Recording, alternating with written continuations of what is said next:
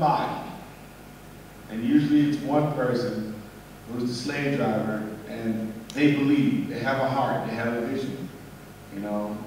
Um, and for whatever reason, they sacrifice. They sacrifice their personal time, they sacrifice um, their lives, their families' lives.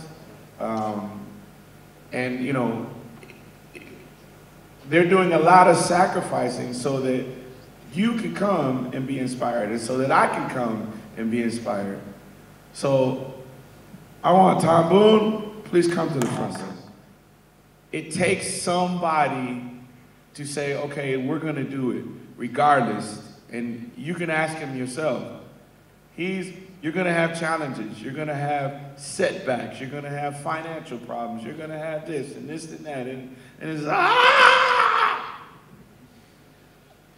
But because he loves it, because he has a heart for it, he says, you know what? I'm going to go anyways. I'm going to keep pushing. So I think we all deserve to show him some love.